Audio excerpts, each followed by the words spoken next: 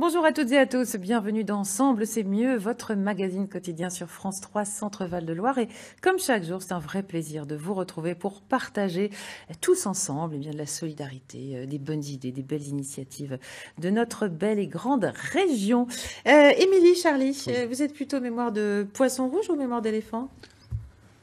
Euh, moi, je, je, retiens, ouais, mémoire de mémoire ouais, de, de, entre deux, rhinocéros. à travailler, ça se travaille, non Surtout. Ça se travaille la mémoire. Eh ben, on va en parler. On ouais. va demander à notre spécialiste, bien sûr, Sylvain Brosset, qui nous a rejoint sur notre plateau, si la mémoire, ça se travaille ou pas. C'est parti, c'est tout de suite.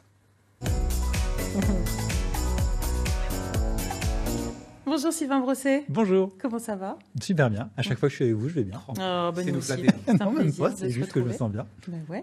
Donc alors, du coup, ouais, euh, est-ce que ça se travaille? Ça se travaille pas la mémoire? Euh, Alors, que... Oui, qu'est-ce la, qu'on dit? on pourrait imaginer que c'est presque un organe notre mémoire. Ça se travaille. Oui. Quand on dit qu'on n'a pas de mémoire, c'est un peu étonnant parce que en fait tout le monde a de la mémoire. D'ailleurs, il y a des choses que vous retenez pas du tout. Aujourd'hui, si je vous donne des numéros de téléphone à retenir, ouf, vous allez retenir les deux premiers numéros puis après que dalle. Ouais. Par contre, il y a plein de choses que vous retenez bien spontanément, facilement, parce que c'est des choses qui vont vous intéresser. Et à partir du moment où vous allez avoir une sorte de, stratégie mentale euh, que vous n'aurez même pas pensé volontairement, mais parce que ça, évoque chez vous un intérêt particulier, ça va être beaucoup plus facile de retenir les choses.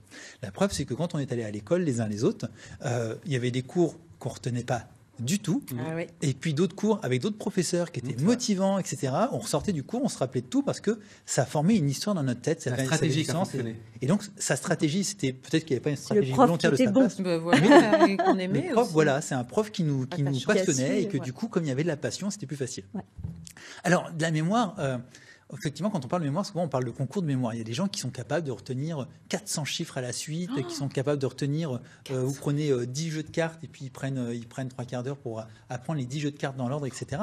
Et ça se fait. Alors on pourrait dire, mais moi je ne sais pas faire ça, donc il n'y a pas de mémoire.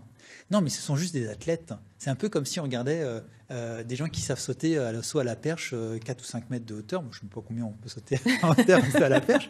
Ça nous semble complètement inaccessible. Sauf qu'ils n'ont pas commencé directement par ça. Avant de commencer à sauter 4 mètres, ils ont commencé par sauter 1 mètre, puis Mm. 2 mètres, etc. Et en fait, nous, c'est pareil. Si on entraîne notre mémoire, si on sait l'utiliser, si on sait comment la gérer, c'est beaucoup plus facile. Parce que notre mémoire, c'est pas tant retenir une information que de retrouver une information. Les informations, elles sont elles sont à l'intérieur de nous. Alors, où et comment, ça c'est encore un petit peu flou et les neurosciences ne nous donnent pas toutes les Mhm. réponses encore par rapport à ça, mais on sait que la difficulté, c'est de retrouver l'information. Et en général, on peut voir deux manières différentes de retrouver l'information. La première méthode qu'on a, celle qu'on a appris à l'école, et c'est pas forcément la plus euh, efficace, c'est la répétition. La répétition, comme ça qu'on a appris nos poésies, blablabla, blablabla, et puis on répète, on répète. Et aujourd'hui, euh, quelques 5 à 10 ans d'après, Ouais, vous êtes gentil, beaucoup plus pour certains, on s'en souvient. Alors, vous vous souvenez des, généralement des 3-4 premiers vers. C'est ça, Et puis derrière, hmm, c'est plus compliqué. exactement. Et euh, pourtant, c'est, euh, enfin, vous les avez répétés, répétés. Mais si vous prenez euh, les génériques de dessins animés, hein, Charlie, Allez, ah, Charlie, c'est le spécialiste. J'ai- Vous, vous Il chantez est venu le temps des Des c'est pas éléphants. sa génération. Non, alors il était pas Bon, né, hein. écoutez, euh, on va se calmer. hein. Mais faut- il nous, il nous sort Ah oui, il y en a des, plein, des vieux, des vieux machins. Tom euh. Sawyer, euh, Capitaine Flamme, ce que vous voulez. Tiens, ça c'est mieux, c'est plus Et de pourtant, vous n'avez jamais révisé chez vous en disant à vos parents, Non, faut que j'aille réviser par Capitaine Flamme ou Tom. Sawyer. Donc, parce qu'il y avait un, un engouement, une émotion, quelque chose de, de plus, ça a été beaucoup plus facile de retenir. Alors, c'est un exemple que je donne souvent, c'est que euh, vous allez voir aussi que même vous, à partir du moment où il y a une grande émotion, c'est plus facile de le retenir. Alors, ça marche peut-être pas pour Charlie, ce qui est peut-être un peu trop jeune, mais si je vous demande ce que vous faisiez C'est agréable.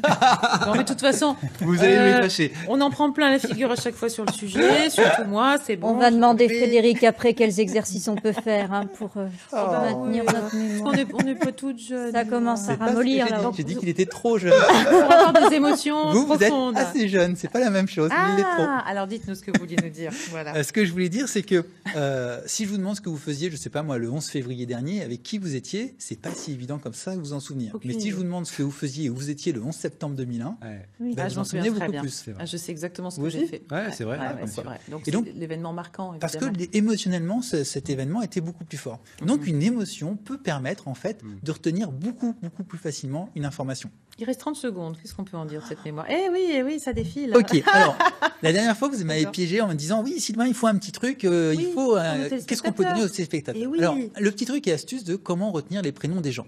Vous êtes un, grou- un groupe autour de vous, vous avez plein de prénoms, il faut les retenir très rapidement. Eh bien, il va falloir faire utiliser votre imagination le plus possible. Par exemple, pour Charlie, eh bien, moi, je vais le voir avec un petit bonnet rouge et blanc, avec un t-shirt rouge et Ah, blanc, bah oui. et je vais me dire Où est Charlie? Bah, Et le fait de ah. l'imaginer comme ça dans ma tête, c'est très facile de retenir Charlie. Pour vous, Émilie, il suffit que je vous vois avec euh, une compagnie de lapins bleus autour de vous, et je bien. pense à, à Émilie Jolie, Jolie. bien évidemment. Et donc j'imagine, quand je vous vois, j'imagine tous ces lapins bleus autour de vous et c'est vachement plus facile de retrouver des choses comme ça. Et on va terminer sur moi parce que c'est vraiment terminé. Alors Frédéric, euh, je vous imagine euh, bras dessus bras dessous avec l'inspecteur d'Eric. Mais l'inspecteur d'Eric, ah oui, Qui est plutôt- Qui est plutôt jeune. hein. Mais c'est la Saint-Frédéric, c'est pas possible, j'en prends plein la figure aujourd'hui. alors Ouais. pourquoi l'inspecteur d'Eric Parce que l'inspecteur d'Eric, il a l'air un peu fade, tout vert comme ça. Et moi je l'imagine tout frais avec un beau t-shirt bleu comme vous. Et comme il est frais, c'est le frais d'Eric. Ah bien, je suis le Frédéric. Merci mon cher Sylvain.